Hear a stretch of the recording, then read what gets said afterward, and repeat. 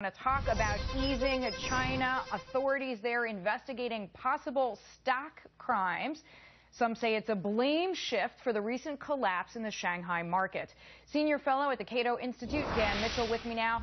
So, Dan, is this China not wanting to accept responsibility for having this uncomfortable relationship between free markets and still having a communist system? First, I have no idea whether there are some traders and financial market people in China that did some bad things. Let's set that aside as a possibility. It doesn't change the fact, though, that China's government has had too much cronyism, a complete lack of transparency, uh, lots of fake stimulus uh, that made what Obama did look trivial by comparison. They, they haven't been willing to liberalize their economy and allow true free markets. So they've been living off a little bit of liberalization from 15 years ago. They haven't done anything since then. They're trying the old printing and stimulus approach, and I think it's created a lot of instability and volatility over there. And the chickens are coming home to roost, and they want to blame somebody else. They want to blame somebody else, but should China's government itself be looked at or, or just reflect, reflect in some way about creating some of the bubble?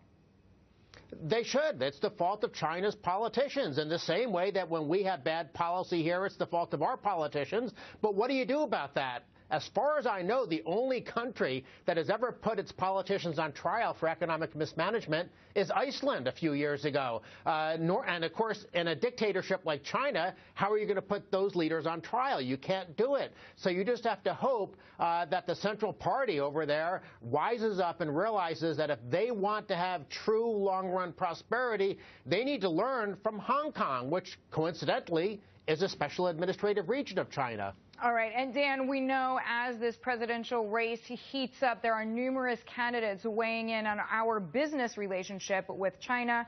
Here's Donald Trump. We're tying ourselves so closely to Asia and in particular to China that this is going to be trouble for our country. I'm a free trader. I, I, I disagree with protectionism. I think that, yeah, we are interlocked with China, and we're interlocked because we've made a choice that we want to buy goods and services cheaper. You can't put your head in the sand and say you can't work with China. It's like it's like saying, look, we're not going to work with this big customer because we don't like them. All right, so that was Donald Trump and then Mark Cuban, billionaire investors' reaction to him. But to Mark Cuban's point, we are all interconnected. There are two economies in this world with $17 trillion footprints.